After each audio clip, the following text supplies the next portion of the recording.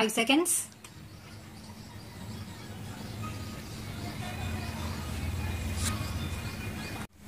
I am honored to be present here with President and Secretary General and other leaders at the launch of the UN Democracy Fund.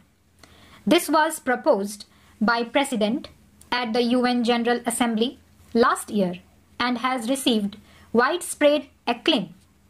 Its relevance is underscored by its becoming a concrete reality in just a year's time. May I take this opportunity to express our solidarity with the people of New Orleans and other regions devastated by the destructive fury of Hurricane Katrina.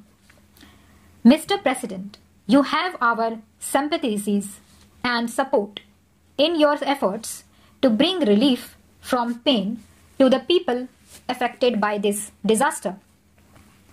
Excellencies, India is proud of its democratic heritage, which is rooted in the country's cultural traditions of tolerance, respect for different viewpoints, and a ready embrace of diversity. Mahatma Gandhi led us into a non-violence struggle not only to free India from colonial rule but to also ensure to our people the exercise of their democratic rights. To him, it was clear that the end to colonial rule would mean very little unless the broad masses of the people of India were empowered with democracy. We were also inspired by the ideals of freedom, equality, and justice that were the hallmarks of the great French and American revolutions. India's awakening to freedom, in turn, inspired freedom movements in Asia and Africa. A whole family of independent and proud nations took their place on the world stage. India sympathized with and supported their struggle to become masters of their own destiny. For us, the democratic ideal is a common heritage of mankind. Those fortunate to enjoy its fruits have a responsibility to share its benefits with others. As the world's largest democracy, it is natural that India should have been among the first to welcome and support the concept of a UN Democracy Fund. We believe that democracy based on universal adult suffrage empowers the most humble citizen of our country and give him a sense of dignity. Poverty, illiteracy, or socio-economic backwardness do not hinder the exercise of democracy. Quite the contrary, our experience of more than 50 years of democratic rule demonstrates how democracy is a most powerful tool to successfully overcome the challenge of development. But most of all, democracy alone gives the assurance that the developmental aspirations of the poorest citizens of our society will be taken into consideration by such programs. I bring the best wishes and felicitations of the people of India to this August Assembly meeting in its historic 60th session. India has a special regard for the United Nations. The ideals of the UN run parallel to our own civilizational ethos.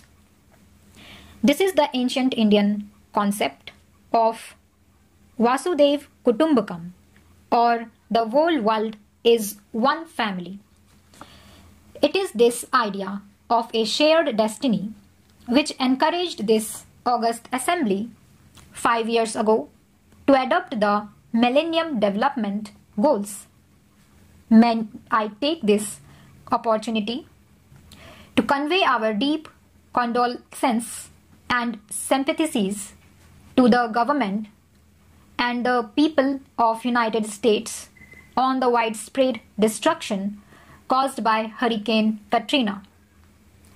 At the turn of the century, there was growing recognition that the contemporary challenges of pandemic diseases, environmental depredation, and terrorism demand a global response. At the same time, there was hope and optimism. The world community welcomed advances in science and technology, which made it possible as never before in human history to confront these challenges. We had confidence in mobilizing the collective will and wisdom of nations to herald a new era of peace and prosperity. Five years later, we find that the international community is generous in setting goals, slow in pursuing them. We must therefore make greater efforts to mobilize the needed resources to meet the Millennium Development Goals. This would be a wise investment for the future. Failure will only make our task in the future more difficult and more costly. We in the developing world face a dual challenge the domestic one of managing political, economic, and social change in an environment of rising expectations and growing disparities, as well as the global challenge of securing an international environment conducive to meeting our developmental aspirations.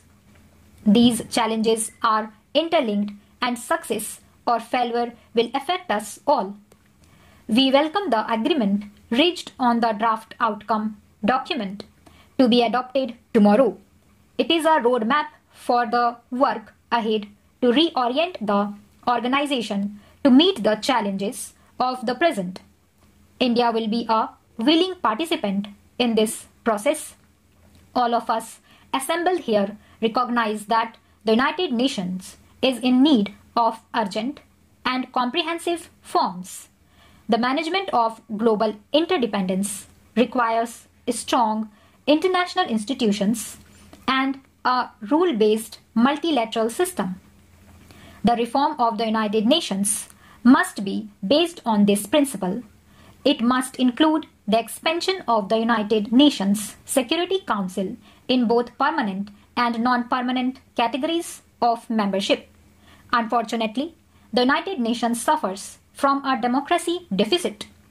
Its structure and decision making processes reflect the world of 1945 as such, not the world of year 2015. Unless the UN becomes more representative of the contemporary world and more relevant to our concerns.